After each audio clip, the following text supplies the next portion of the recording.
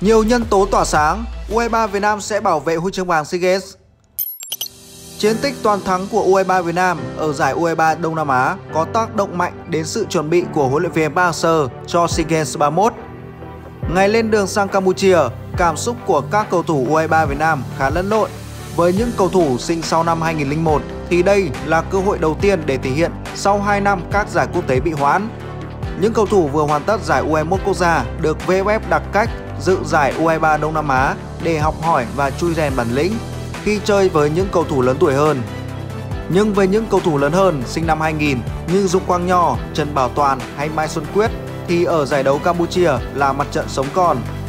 Sau 2 năm tập huấn cùng U23 Việt Nam, ở đợt tập trung ngắn song song với tuyển Việt Nam đá vòng loại World Cup 2022, bộ khung của U23 Việt Nam lưới 1999 và 2000 đã định hình được những cái tên như Nguyễn Văn Toản, Bùi Hoàng Việt Anh, Nguyễn Thanh Bình, Lý Công Hoàng Anh, Lê Văn Xuân thường xuyên được ăn cơm tuyển.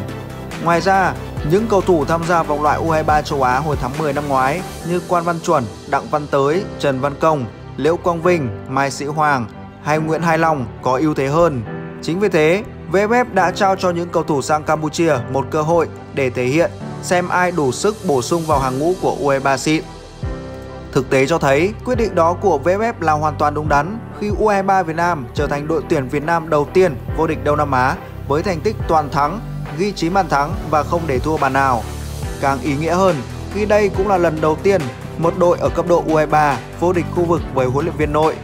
Hành trình vượt khó để thể hiện ý chí, sự đoàn kết, quyết tâm không buôn xuôi của U23 Việt Nam đã làm lay động hàng triệu con tim khán giả. Rất nhiều cái tên đá tại Campuchia đã rực sáng, chinh phục giới chuyên môn và người hâm mộ.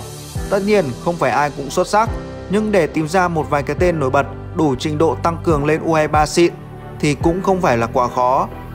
Chính huấn luyện viên Đinh Thế Nam đã giới thiệu khoảng 12 cái tên mà lướt qua cũng có thể thấy phần lớn hoàn toàn xứng đáng. Nếu được lên U23 Việt Nam, không chỉ mở ra một cơ hội chính cho họ cũng như huấn luyện viên Park để có cái nhìn phong phú và có chiều sâu hơn cho lực lượng đá SEA Games 31 cũng như vòng chung kết U23 châu Á 2022 mà còn tạo được sự đồng thuận từ cả làng bóng đang sôi sục với những thành tích liên tiếp của bóng đá nước nhà hiện nay.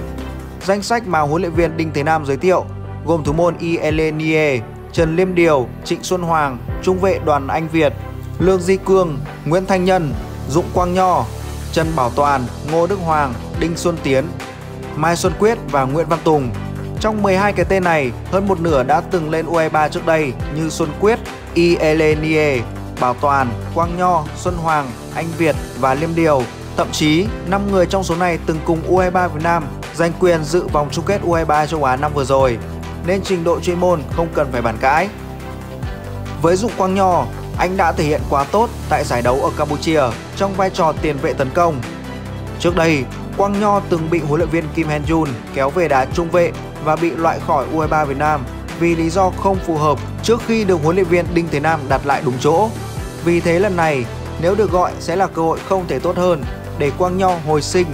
và lấy lại giá trị của mình trong mắt huấn luyện viên Park Hang-seo.